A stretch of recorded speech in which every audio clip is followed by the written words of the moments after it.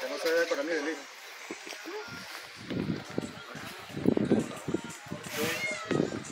Liberación. Gatos ferales.